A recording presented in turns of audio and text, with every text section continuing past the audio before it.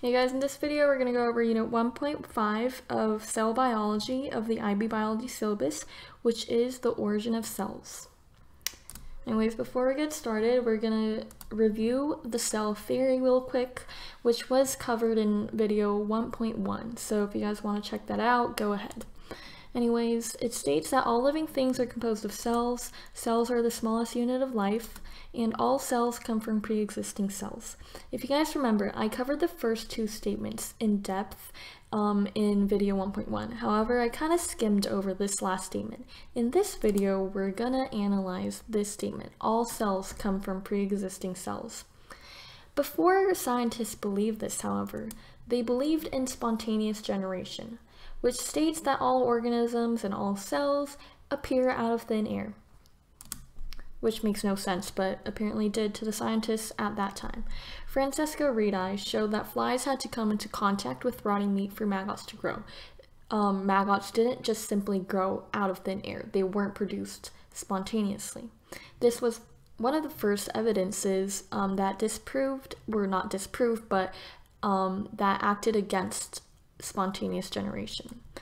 Lazzaro Spallanzani showed that organisms only grow in containers of sterilized soup left open, but not in the ones closed. This was also an evidence going against spontaneous generation. However, even with these two strong pieces of evidence, some biologists remain convinced that spontaneous generation could occur if there was access to air. They said that the only reason why um, organisms didn't grow in the containers of sterilized soup closed was because the soup didn't have access to air. And if they did, spontaneous generation would have occurred, which I guess is logical. Anyways, um, Pasteur's test of spontaneous generation disproved um, spontaneous generation once and for all. Because what he did is he placed samples of broth in swan-necked flasks, which are flasks, normal flasks with a swan neck. Um, and why did he use this? Well, what he tried to do was to um, say that even if an, an environment has access to air, as in these swan necks, if it doesn't come into contact with outside materials such as microbes, spontaneous generation will not occur. Anyway, so what he did is he boiled these, um, he boiled a broth, which killed all microbes in it. He had a control group, obviously, unboiled broth, and in unboiled broth, um, microbes are not killed and therefore microbial growth occurred. Um, in the boiled broth, in one group, what he did is he left the swan necks um, on. In the other group, however, he broke the stem. Now, Air could still get in the unbroken flask. What couldn't get in was the microbes. In this, air could also get in, obviously, but microbes could also get in as well, unlike this group. Now, even in presence of air, spontaneous generation did not occur, as shown in this picture. No microbial growth was observed in the group where the swan neck was not broken. In this group, however, microbial growth occurred meaning that the microbes in the outside environment must have came inside.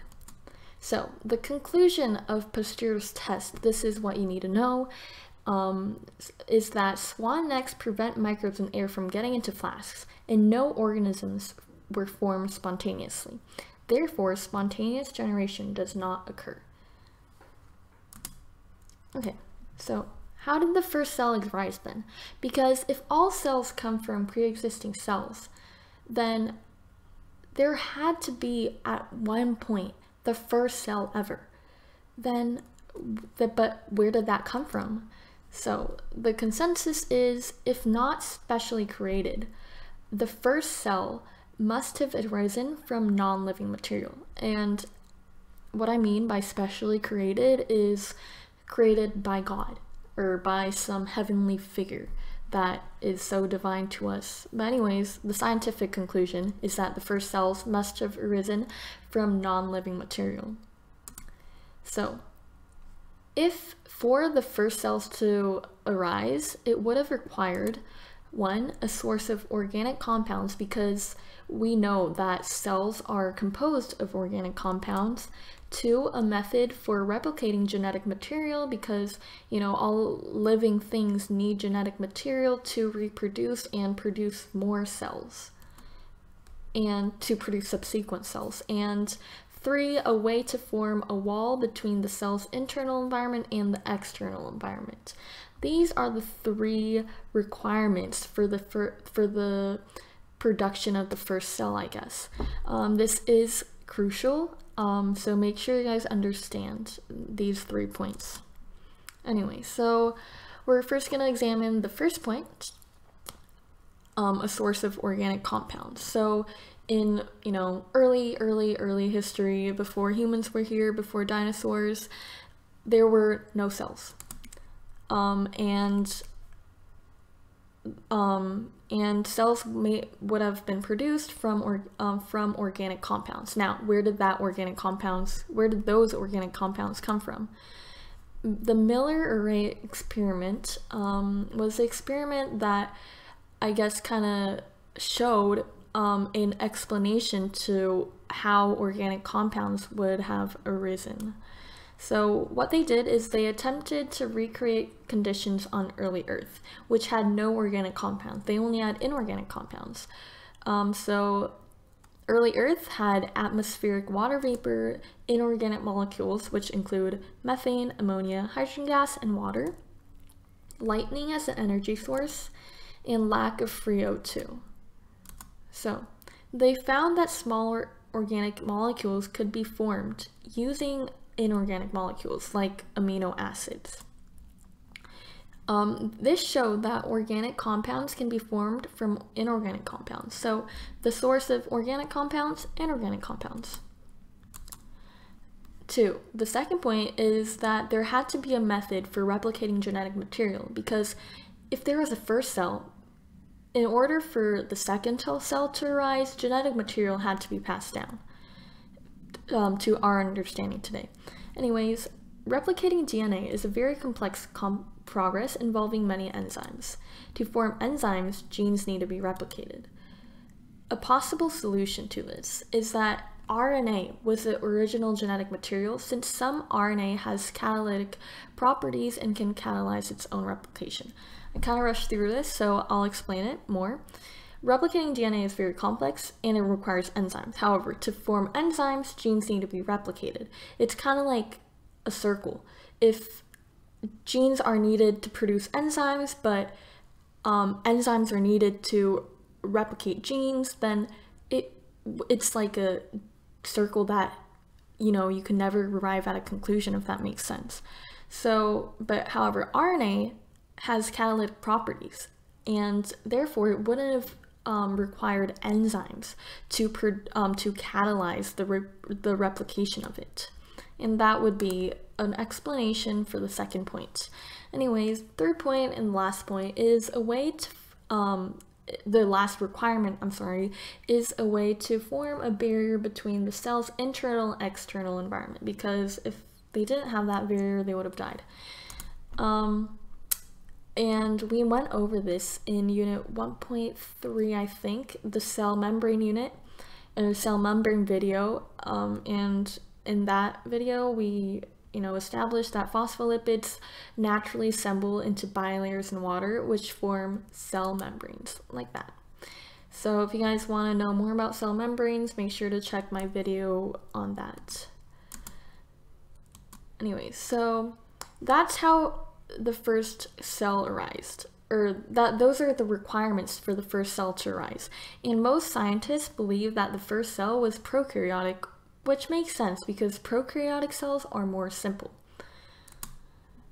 Now, then how did eukaryotic cells arise? The most popular explanation now is the endosymbi endosymbiotic theory. Symbiosis is a close long-term relationship between two species. Um, states that um, so basically the endosymbiotic theory states that mitochondria, which um, you know partake in anaerobic respiration, and chloroplasts, which partake in photosynthesis, um, if you guys remember, I went over organelles in Unit 1.2. Anyways, were once free-living prokaryotes. So these two um, organelles were once prokaryotes. Mitochondria in chloroplasts were ingested by larger prokaryotes and developed a symbiotic relationship with them, according to the endosymbiotic theory. Over time, the two prokaryotes evolved into an organelle of the cell. And now, um, chloroplasts and mitochondria cannot survive outside of our cell, of, of a normal cell, sorry.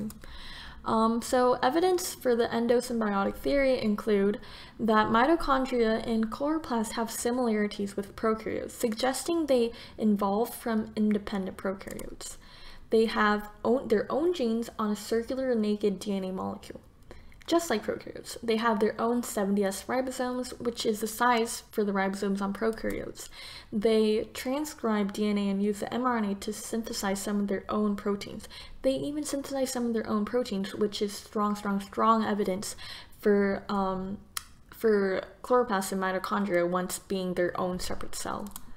And lastly, they're only produced by division of pre-existing mitochondria and chloroplasts. They aren't produced internally in the, inside the cell. They must be divided.